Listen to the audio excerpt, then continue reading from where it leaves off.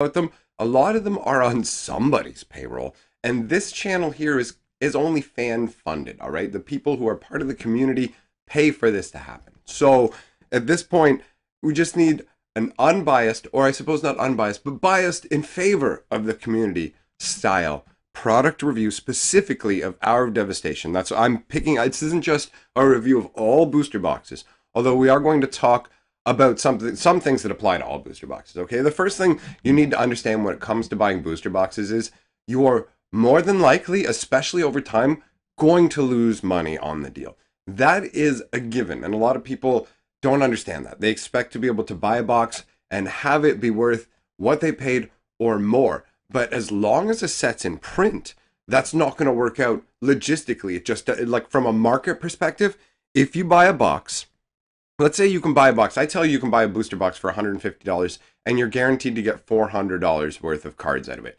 Let's say I can tell you that's the situation we're living in. Let's say every hour of devastation booster box you buy is going to give you $400 worth of cards. Well, that's not going to last because those cards are only worth something due to demand and people wanting them. The more that people hear, hey, wait a minute, there's $400 worth of cards in these boxes, the more these boxes get opened. So the more the cards in them become available on the market. As a result, fewer are being requested to be sold to people. And that makes people willing to sell them for cheaper and cheaper, especially as online merchants will end up with more and more copies of this card and they will drop prices. I mean, and they have to drop prices to compete with each other. Somebody can't keep a card at $10 when someone else is selling it at 5, right? That's not how the market works. So eventually, as long as the set's in print, you're going to hit a point where it's going to have to basically roughly balance out or you lose money because otherwise boxes are just going to keep being cracked until we reach that point. So that's always been a given, but people don't understand that. I've never had an issue with that. That's just the nature of capitalism and market forces. That makes sense to me. So it's not um, it's not really a reason by itself to make a video, honestly. But when it comes to talking about these kind of analyses, there's a number of there's a number of different factors to take into account. What I have here is I have um, a mix of packs from two different Hour of Devastation boxes. Uh, I'm not going to be buying any more boxes of this because it's just, it's a terrible product. And honestly, I know it's probably weird that I'm putting this, probably seems weird to you guys that I'm putting this stuff here into a tub of water, but this is just the best way I could think of for one of the ways that I wanted to evaluate this set. So we're just going to take a random sampling of booster packs from two different uh, two different boxes here, and these have come from uh, like a local gaming store as opposed to being purchased online. So they're from a reputable source. So that's a non-issue there. So a lot of the time, when it comes to talking about booster packs, it's really just a matter of, hey, do you want to buy the booster packs? Are you going to go through? Is it worth it? Do you enjoy the lottery experience? Do you enjoy the opportunity of winning? Like, are you going to score big? What are they going to put in there for you? Uh, are you someone who just likes exploring the set through? This is this is one of the I think this is one of the few reasons that I could still recommend buying a booster box of Hour of Devastation if that's what you wanted to do. They kind of float. Um, basically, would be if you're somebody who enjoys exploring the story through the cards, you don't look at spoilers or whatever, and you want to crack a box and see all the different cards, the commons, the artwork, and everything. That's a pretty decent reason.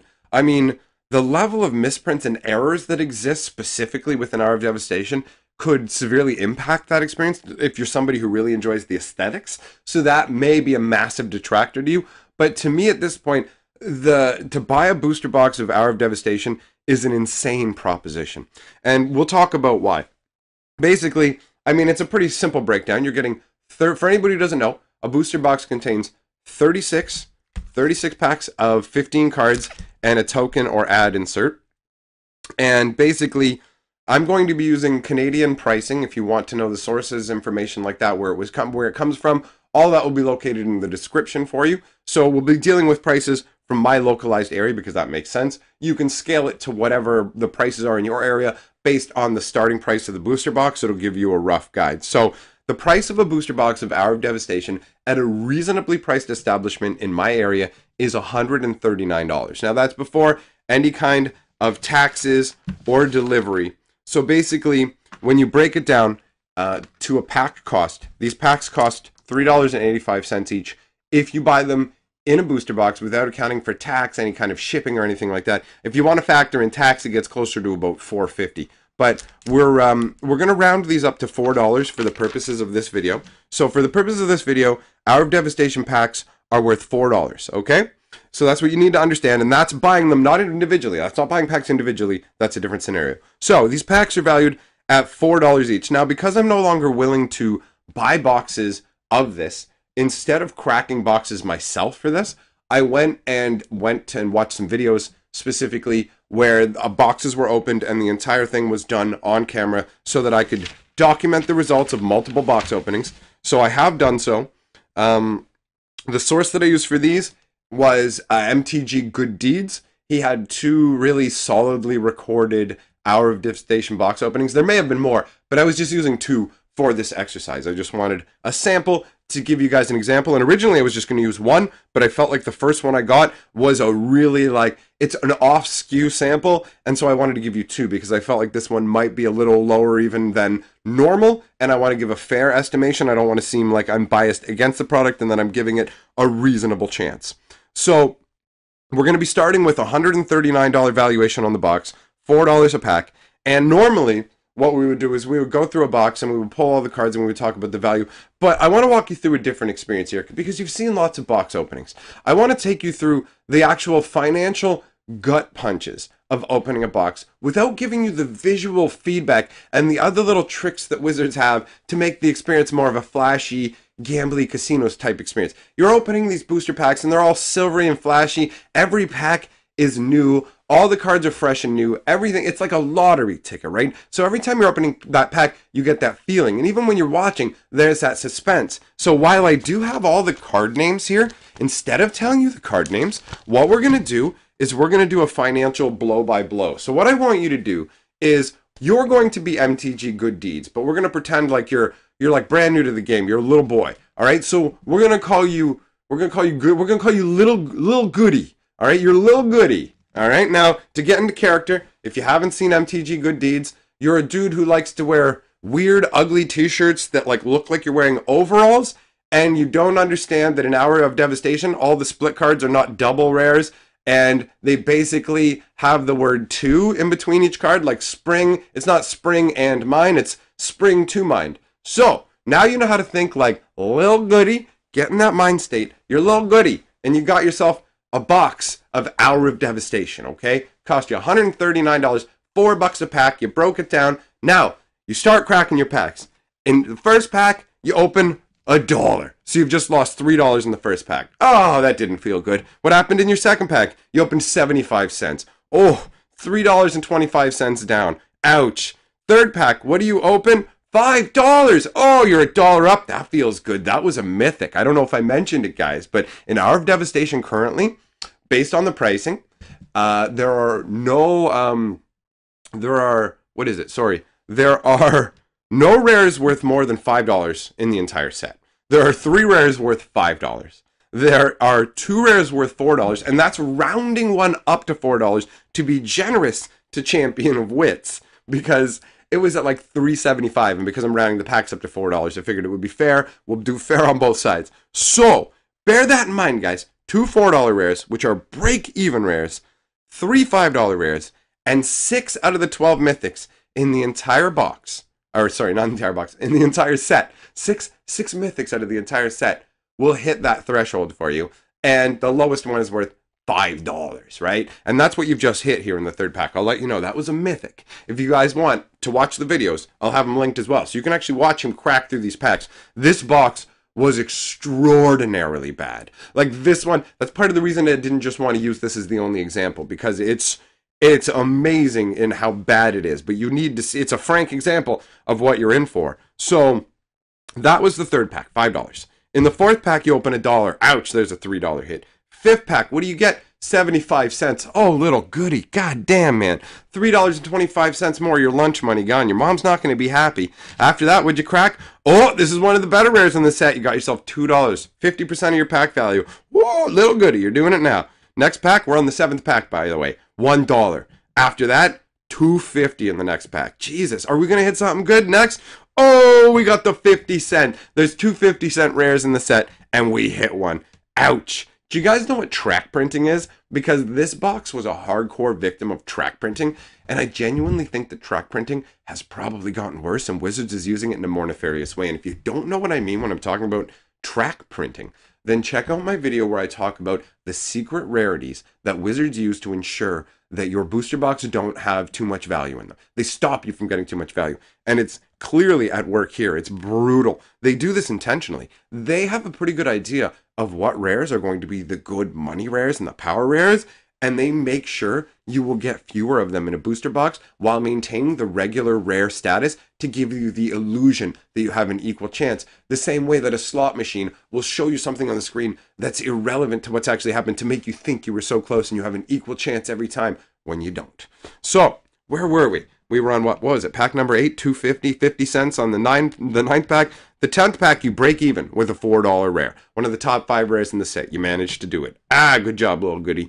Then you get hit by a 75 cent rare, then a dollar rare. Then again you break even at four dollars. Man, when are we gonna hit the good times? 75 cents. Oh, next we got a buck, 50 cents, a dollar 50, 75 cents, three dollars, a dollar, a dollar, 75 cents. What do we got here? Five dollars. Oh, profit again. What was the last time that we saw five dollars? When was that? Was that all the way back in pack number three? Oh my god. So pack number three and pack number 23 are the first two packs to actually get you ahead by two dollars. Whereas every other pack, a couple of them broken, even and every other pack that has been either a mild to significant loss. After that, pack 24, 75 cents. Pack 25, 75 cents. $2 after that. The next pack we have, oh, by the way, just so you know, there are packs with foils. These Some of these packs include foils, but every foil was negligible, worthless. I have asterisks here to let me know about which ones had foils. So we've got 75 cents, $2, $4. There's another break even, and that's because we're generous and rounded up. $1, $2, 50 cents, $1, 50 cents, 250, $1, 75 cents, 250. That's how the booster box went you can watch the video for yourself. Now, they have included full art lands in the packs. I don't include them in the valuation. They don't matter anymore. They have overprinted full art lands to the point where they no longer have any real value. You can't honestly consider them to have value. It's not reasonable. I mean, you can have, sorry, let me give a little bit of a disclaimer to that. You can consider them worth more than the most basic of basic lands, but that's it now. They're not special. Like they originally only showed up in Unhinged and Unglued, and then they decided to revisit that well in Zendikar, which was a smart move on their point because it had um, it had been a long time since they had had full art lands. Great time to bring them back. Smart move. So when Battle for Zendikar comes back, they bring him back, and I'm like, oh, all right, cool. But then they decided to put him in Amonkhet and Hour of Devastation, but they were like, we'll only make them 25% as common. It doesn't matter with the sheer amount that are being opened and how long they're staying in our consciousness they no longer feel special. You can even see it when you watch Little Goody's video. You can even hear it in the second video, one of the two. Sorry, I may get them muddled up. But in one of the two videos, like he keeps talking about the full art lands that he cracks, but at a certain point he just talks about how they don't really matter and how many he has. That's the feeling you get from it. And that's from somebody who probably hasn't cracked nearly as much stuff. It's it's real and it's prevalent. And they're bringing the full art lands back in the next unset. And I saw them and I was so disappointed because honestly, I used to get really excited when I saw full art lands and I looked at them and I felt dead inside because they just seemed like, wow, great. You put a different collar on your poodle. That's what it felt like. Like, look at the green co- fucking collar on my poodle. Nobody cares anymore, dipshit. Stop bringing your poodle out. Like, it just, it doesn't work anymore. So, you can't count the lands. They don't mean anything. Now, on top of this, this box was insane. When I said he got, like, he got track fucked, he got track fucked. He got multiple duplicate rares in this box he got um he ended up getting what was it? One two three four five six seven seven different cards where i only asterisked the duplicates. So seven cards we already had and every single one was a junk rare. You don't see duplicate solemnities. You see no ramming up excavators. None of that stuff. The duplicates are all swarm intelligences and like it's always been like for the longest, they used they used to use track printing because track printing isn't evil in itself. It's just a way of ensuring that you never get a booster box where you never get zero mythics and situations like that, which would genuinely make people unhappy. So it's a way of maintaining order in boxes and not having true randomness because true randomness is not is not what anybody wants. It may be what you think you want, but it's really not. So track printing is not in itself evil, but because they can use it to shift rarities around without letting you know and manipulate the system, basically, because of how greedy Wizards is and what they do, it's just out of control. The level of misprints that have surfaced, every type of misprint imaginable has shown up in this set. Just today, not even joking. I run events, so I see people cracking packs all the time. So I saw people cracking regular packs of hours today, and I saw people cracking the um, showdown packs. And the print quality on both is abysmal. I saw, I saw, I've seen print errors in Hour of Devastation that I've never seen before in my life. And I am an active misprint collector. I've collected misprints my whole life. I have a video where I talk about Wizards card quality. And if you watch it, you'll see I have a stack this big of misprints I collected my whole life. And this is a stack of misprints that have shown up in the last year just because of Wizards' garbage printing policy. As a result, misprints no longer feel exciting to me. They're sad garbage. So they have created new types of misprints, and they're not even exciting to me. I have seen numerous foils with vertical blind stripe line crossings across them, all kinds of foils. I saw multiples of them today. I saw ones running up and down, pack fresh. The card quality, the printing quality is so bad the even the cards that aren't misprinted and that are printed to the standard they were looking to print at, you can tell, even just comparing them to Amonkhet, the quality is so much worse. It's so much more faded out. Like this set, I cannot recommend it. You shouldn't buy it at all. There are a few more points I'm going to evaluate it on, but good God, like even if you're getting exactly what's promised with no errors. The cards are garbage and they're not worth anything. And even if you were somebody who wanted to buy boxes and save them, there's like two cards in the set that are maybe going to matter later on. Solemnity has a good chance because it has a very unique ability that can be abused in powerful ways. So Solemnity has a really good chance of showing up elsewhere. But you can buy some boxes and hold on to them and go, wow, Solemnity and Ramunap Excavator will increase the value of this box over time. If there are any even in there, or you could spend the same $140 and buy Solemnities and I don't know what Ramunap's going for right now off the top of my head, but I know for a fact that Solemnity is only going for $4. So you could buy over 30 of them for the same price as a box if that was the kind of speculation you want to do. Singles are the way to go. I mean, look at this. We've got three rares that are $5 each. You want a play set of those? That's going to cost you $60. Do you want the $4 rares as well? Fine, you can get a play set of each of those. That's another 32. You're only at 92 bucks right now. And you already have play sets of the five most important rares from the set. And the rest can be just picked up through random trading, prize pools. Like buying singles is what a smart man does. And buying packs and booster boxes is what a fucking retarded paste drinking moron does.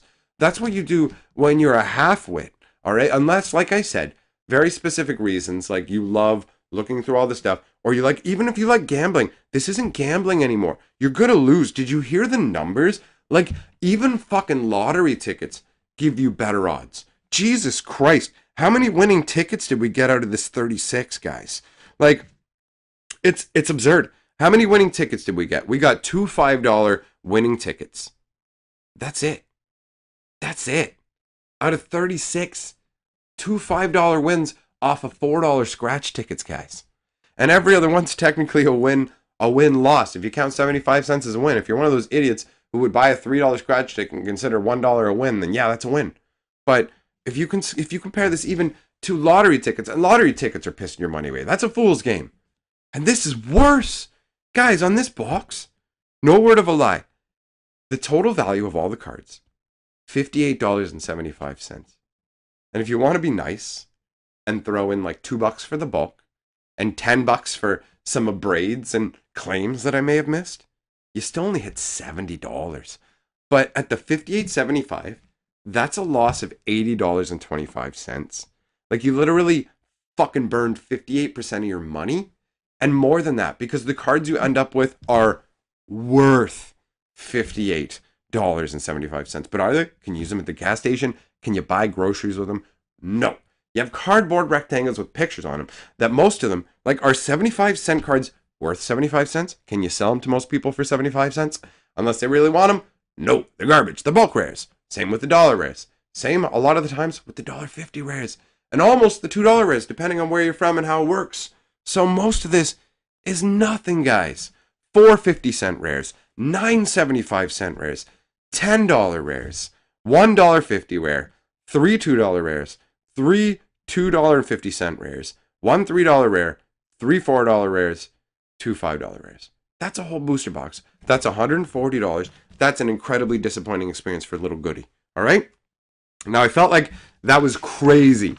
I felt like that was insane. So I sat down and I watched another of his video. I spent a lot of time thinking about this and working on these these type of videos because I genuinely feel that the community is underserved with this type of analysis. And I just I wish there were more people doing this kind of thing because I'm sure there are aspects that I'm not thinking of. And if you guys can think of other things that I should be covering, let me know by all means because I want to help people. I get messages on my other videos talking about how helpful the stuff talking about the deck builders toolkit and stuff I would have ignored before was. So we'll try and do everything. I'm going I'm gonna actually evaluate every set just based on wizards like the print quality. We have to see if it's going anywhere. Can you imagine if Iconics Masters was as bad as Hour of Devastation? Oh my god. Okay, so the second box, we'll fly through the numbers real quick. Um, actually, you know what? I don't need to do a pack by pack for you on this one, guys. I'll just give you the blow by blow. I'll let you know there was one pack that was exciting. One pack that was exciting, a $22 pack. The 16th pack had a $22 mythic. That was uh, that was it. That was the only exciting pack. In terms of value breakdown, we had one $22 rare. We had three $5 rares, two four. I'm saying we because me and Lil Goody are in this together now. After watching his videos multiple times and getting all this info. Anyways, me and Little Goody, what we got was 37 rares out of this. The other one didn't even have a foil rare unless I missed it. Um, so 37 rares. The Mythic was worth 22.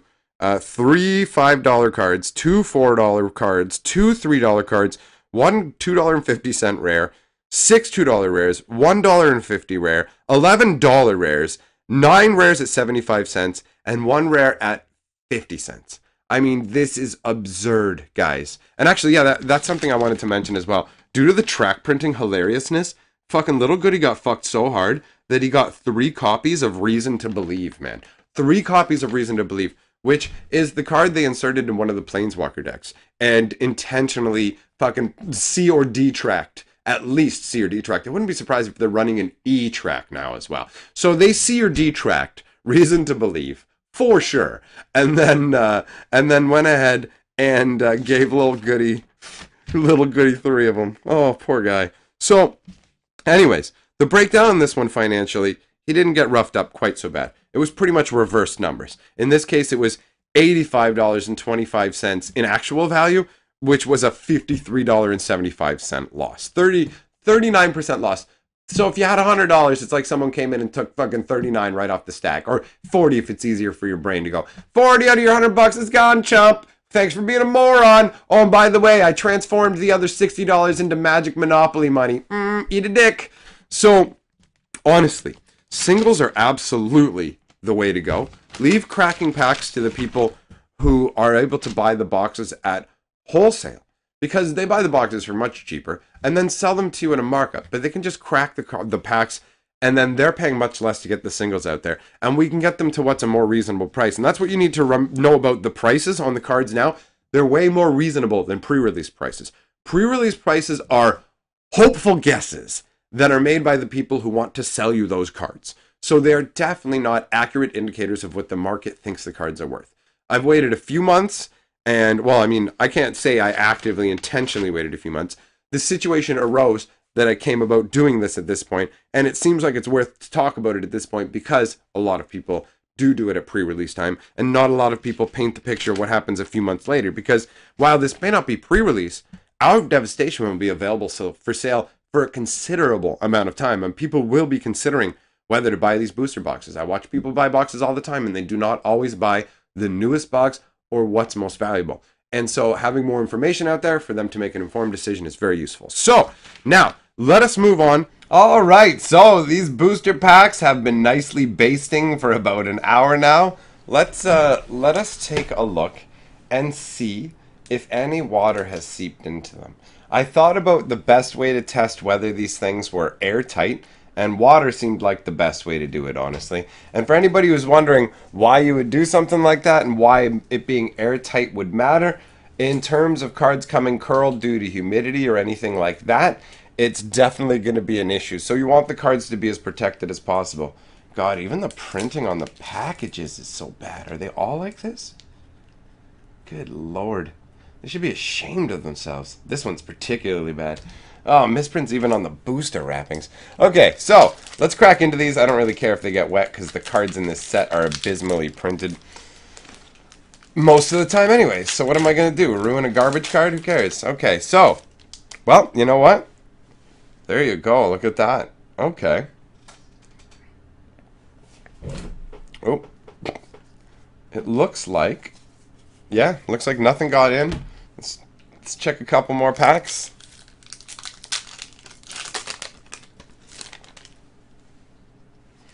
All right. There you go. All right. Well, let's just let's just see if anything are any of them sinking. Any of them? They're all just floating. Yeah, I'll do one more. One more just to see. But I think it's pretty safe to say. It looks like, uh, in terms of not having any kind of holes anywhere and actually keeping the cards sealed. Yeah, all right. Okay, so I feel comfortable saying that that is totally a pass. So they have done well in that regard. I totally picked three, six packs randomly from two different booster boxes, put them in there, tried that out, and they all passed that test, so that's excellent. Okay, so the other thing that I had heard, actually, you know what? One more thing I wanted to actually just quickly take a look at the corners and the edges to see. Oh, there we go. This is what I'm talking about. There are other things. Now, this pack right here, I don't know, my camera's not that great, but right up on the edge here is actually open. So, uh, an issues of being able to like pry open a pack and reseal it without actually having shown any kind of like basically pack tampering is an issue that you can deal with, and I've heard about people getting fake repacks. And when you have issues like this, this is exactly something I was looking for. So that's that is going to be at least a somewhat fail. Oh, there's another one. Wow. Okay. Three. Wow. Are they all like this? Oh, wow. There's entry into every single one of these. Every single. No wonder. Wow.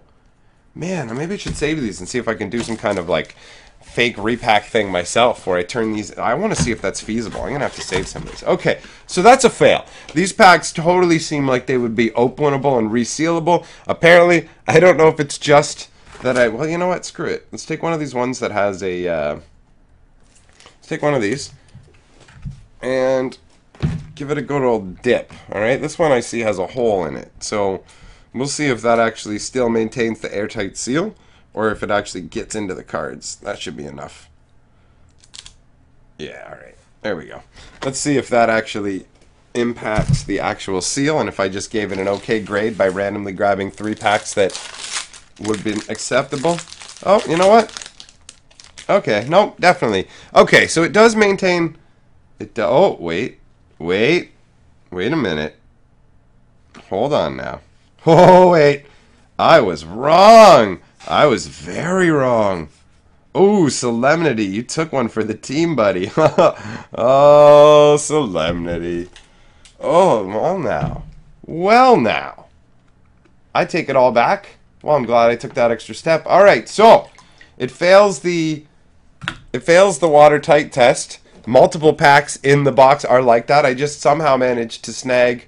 Oh, nope, wrong again. Some of these ones that were actually in here as well. Let's, let's go a little further and see. Oh, okay, weird. All right, so if it's open down there, it may or may not be that deep to get in. Basically, if you can, oh, if you can see a little opening in the end, it doesn't guarantee that it's messed up the seal. But I can see why cards are coming curled and have humidity issues and stuff. So we're gonna have to give them a fail on that count for sure. All right. Well, the only other thing I wanted to check on, really, in terms of this set, and maybe they'll get one pass because everything's a fail so far, apparently. Tons of misprints. I didn't even need to document the misprints because they're everywhere, everywhere for this set. So, the only other thing that I wanted to check out is I had heard recently that uh, scummy people like to weigh packs to try and find foils, and Wizards had figured out an effective countermeasure to this. So I figured we'll just take a random sampling of some packs. And any law enforcement officers who are watching, this is a brand new scale purchased for this and this alone. It has never been used for any illegal purposes. All right, how many packs do we got here? Boom. One, two, three, four, five, six, seven, eight, nine, ten. Ten sounds good. Let's try ten. Let's see what kind of a variance we get in weight and see if that's a way to figure out if there are foils in these packs or if Wizards has Okay, so 28.85. 28.85. So those two are in the exact same category. All right, we've got 29.5. Okay, so there's a there's a point one difference between those. All right, and then we have 28.85. So you go in that pile, and we have 28.75. Okay, so you go down here, boom. And then we've got 28.90. Okay, so boom, we've got 0.9. All right, so you, we'll put you in there, 0.5 increment. All right, and you're down on the 75 scale. What are you? You are on the 0.8. So wow, okay, so there is a decent bit of variance, but can we crack the weightiest packs and still get the foils is the question because they're supposedly supposed to have changed the weight of the cardboard inserts to give enough variance to the packs that you can't tell. Okay, so we have them sorted out into these categories here, and I'm just going to start at this end with the heaviest pack, and we'll see if there's a foil in it. Alright, so there is a foil in it. Alright, so that is definitely one strike against, but that could also just be random. That doesn't mean anything yet. In the second heaviest pack, okay, no foil. All right, and there was only, what, 0.05 of a gram difference between the packs. So that could easily be accounted for by difference in weight. Oh, there's another foil. Oh, the heavier packs. Okay, so in the three heaviest packs of the ones we weighed, we found two foils. So far that looks like a fail, but let's see how many foils we find in the rest of the pack, just to see how many there are throughout here. I mean, we've got no foil in there. And we've got a foil in there. Okay, so the middle stack had one foil. All right. So I mean that's that's that's not too bad so far actually. All right, and there's you know what? There's two foils in the middle stack. Okay, so the middle stack actually is equaling up in terms of how many foils showed up there. The foil swamp. Oh god, it's got those stupid vertical foil lines. Why did I even look? Why am I torturing myself? Jesus. Okay, so in these last couple of packs for the test, let's see. Nimble Obstructionist. Alright, and... Oh, there's a foil there too. Well done. Okay, you know what? This makes it totally, like, the, the way these foils are spread out... Jesus, also, the sheer number of foils I'm cracking is incredibly convenient for this. Alright. No foil in that pack. And in the lightest pile, we have no foil. Okay, so we found no foil, one foil, two foils, two foils, one foil. Okay, well, I mean, if we even remove the group with no foils, that seems like a pretty even spread across. So I think that they've done a pretty good job in changing the weight of the token insert card enough to account for that. So I'll give them uh, a passing grade on that. So that's the only thing they pass on this is still totally a do not buy this garbage, garbage product. It is just, it's miserable, the production value they're putting into the cards now. And, I mean, this does not bode well for Iconic Masters, guys. So I know I went over long on this one, probably. It's uh, my first booster pack analysis, and there was a lot I wanted to talk about trying out this format. We will see what kind of tweaks I make in the end. So, I wanted to give a shout out to Lil Goody for recording those videos and running a Don't Magic channel. Go check him out. I've got links to both of the videos that I used to determine the valuations of those boxes that he got. And uh, on top of that, I just like what he's doing over there. I like his channel. I don't like his one t-shirt, but I definitely like his channel. So, go check him out. Thanks for coming by. If you like if you like what I'm doing here, uh, consider helping me out either on Patreon or